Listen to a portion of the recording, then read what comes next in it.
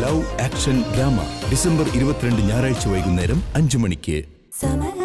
രാധയുടെ ഓരോ നിശ്വാസത്തിലും ഈ കൃഷ്ണൻ മാത്രമായിരിക്കും എന്റെ രാധയുടെ ഈ പ്രണയയാത്രയിലെ അവസാനത്തെ കാൽവയ്പ്.